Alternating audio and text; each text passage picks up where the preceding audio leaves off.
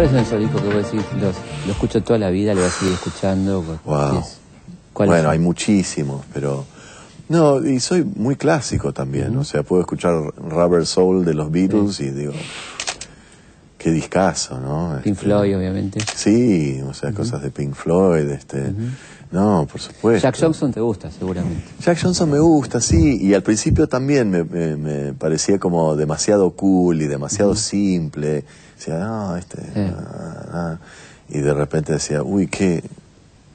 Hay que lograr esa simpleza, ¿no? O sea, para, para llegar a una cosa que aparentemente es como súper, hasta pedorra, ¿no? Hasta Claro. sencillita, Sí, sí, sí. Este, por así decirlo, este, hay que, hay que esforzarse. Y también se puede escuchar Coldplay, digamos, no, no hace falta que te guste todo, ¿no? Claro, no, un- por supuesto, ¿no? Y este y, y uno está, bueno, este yo, yo creo que hay como un lugar interesante ahora porque se, se dio vuelta la taba, ¿no? O sea, yo que, por, por ejemplo, era un alternativo, eh, bueno, yo siempre tenía una especie de, de, de- de ganas de que mis canciones fueran silbadas por el kiosquero de la esquina, por la señora que barre la vereda. Claro. Una cosa de un deseo de ser un artista popular, este, bien entendido y obviamente haciendo las cosas, intentando hacerlas con calidad y todo, pero nunca elitista, nunca pensando, Claro. ¿viste? es mejor tocar para tres que para. 30 mil. O... Sí, por los 30.000 deben estar equivocados, si les gusta, ¿no? Claro, Si ¿viste? les gusta esto. Qué lindo que soñar,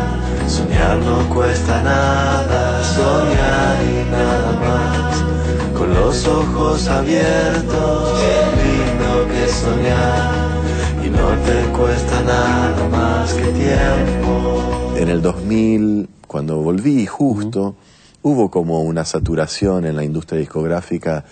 Eh, se clonaba, siempre se clona Claro. mucho el éxito, ¿no? O sea, si salía un Ricky Martin o un Manu Chao, Sí, había este, siempre habían 25, ¿viste? Coldplays Sí, después claro. o 25 Radioheads. Sí, en lo anglo también existe, ¿no? Y creo que esa saturación provocó que por las ranuras de la A vos te industria jugó a favor, ¿no? Claro, entrar a un Café Tacuba, o un Drexler, o, o que entrara Kevin por ahí, sí. Sí, pero tú sos realmente original, ¿no? Se Sí. lo sentís, lo sabés, digamos. Y sí, y, y esa originalidad o esa búsqueda, siempre intenté eh, ser lo más original posible. Creo que esa búsqueda eh, me jugaba en contra durante mucho tiempo y era como, uy, no sabemos dónde meterte, pibe, viste, como, es muy raro, viste, como Claro. esa cosa. Y, y yo, a mí no me parecía raro. Claro.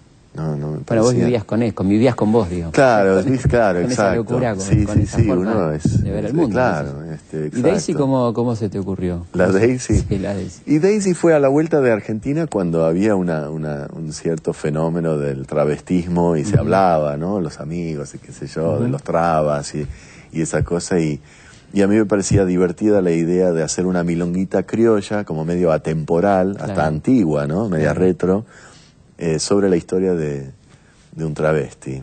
Y sí, pegó. La intro de, de Damián, ¿no?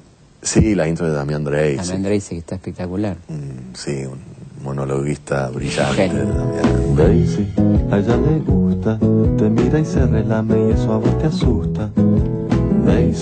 A ella le gusta, te mira y se relame y eso a vos te asusta. No sé ni cómo, ni sé de dónde, ciertos poderes, ella se esconde.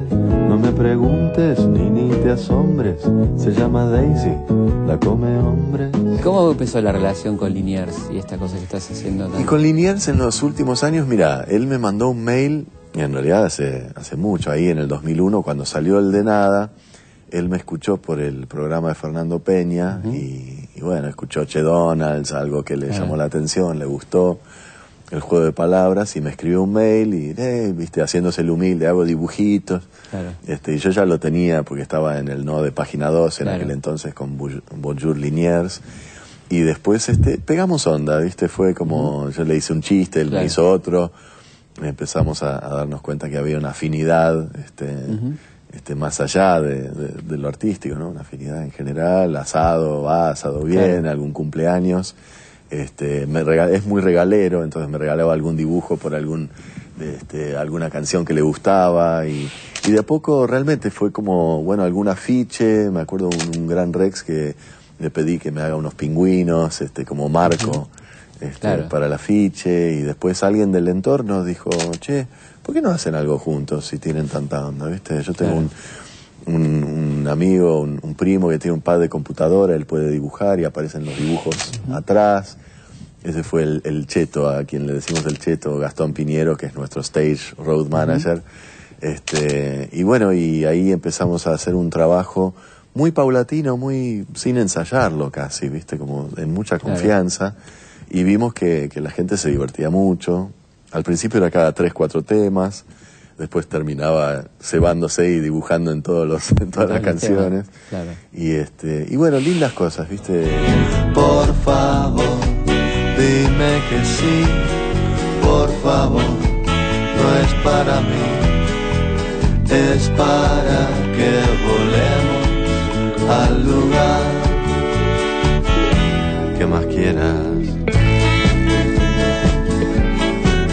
ahora estuviste en Ushuaia cómo ¿Cómo fue la, la traslación Alaska? Porque obviamente se te pasó por la cabeza.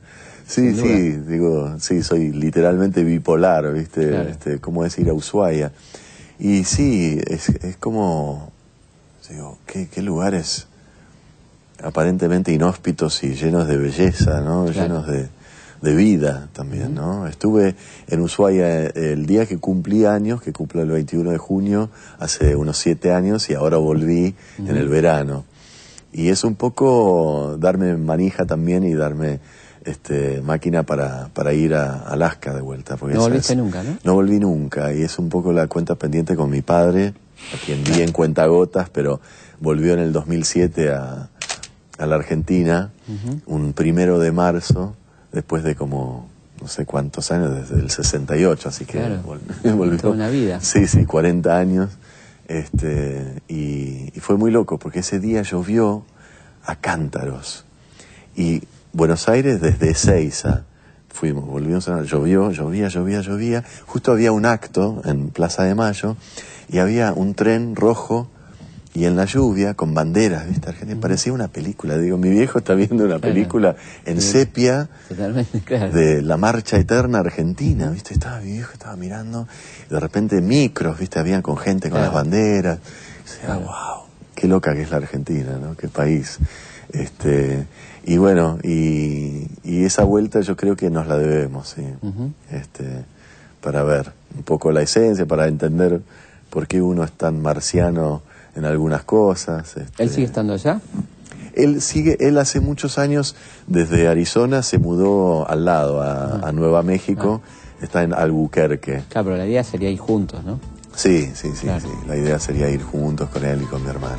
Un viaje alucinante. Sí. Bueno, Kevin, muchísimas gracias. A vos, Un placer.